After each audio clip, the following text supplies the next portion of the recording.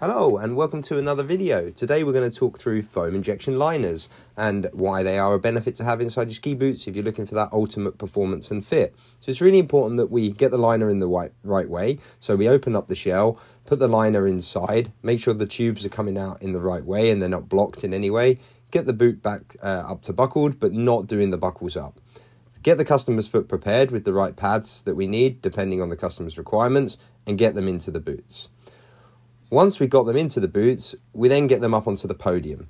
Now, it's really important that we explain to the customer at this point exactly what's going to happen, what we want them to feel, uh, and how the process goes to maximize the fit that we're going to get from these liners.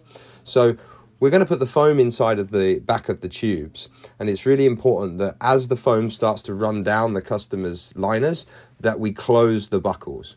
So, once that foam starts going in, once the customer feels it at the first buckle, we close it. Once they feel it at the second buckle, we close it. And once they feel it at the third buckle and fourth buckle, we subsequently close those as well.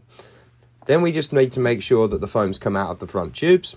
Assuming it's come out of the front tubes correctly, as we'll see in this video, we then close off the back tubes just by folding them over. And then we want to make sure that the foam is no longer running through, that it's starting to harden off. And after about 30 seconds, that should be the case. So we mix the two components together, attach it to the back tube of the liners. And then as you can see from here, we're now going to let that foam slide inside. Doing a little pinch on each tube if we find that the flow is a little bit quicker on one side than the other, just to ensure an even flow through the liner. So as you can see, that's the left boot now done with the foam coming out of the toes there. So we're going to just switch over to the right boot um, and get that one done as well. So right boot, shaking up the foam, ready to go. Attach that into the back part of the liner and then we're going to watch that foam flow into the liner and I'm going to just pinch one of the tubes there as you can see just to basically make a slightly more even flow. We ask the customer to flex back and forwards into the boot and then as you can see there we're closing the buckles of the boot as the foam starts to flow through based on the feedback from the customer and we can now see it coming out of the toes. At this point we cut off the liner, wait for it to harden and then we're going to make sure that everything's good if it is, we'll pull the foam cables out of the liner, as you'll see that I'm just about to do here, and then that will mean that we have more or less finished the process at this point.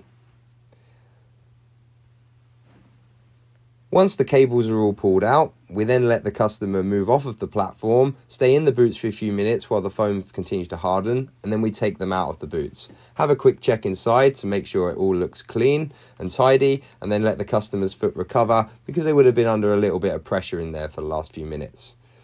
When we take the liner out of the shell, you can see there's a little bit excess foam, nothing major to worry about. We will take that away once it all settles down. We just want to cover the holes with these little pads here to make it look a bit cleaner.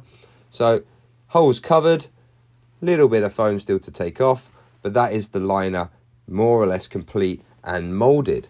And as we can see now, a lot more definition and a fully customized foam injection liner to give the ultimate fit inside your ski boots.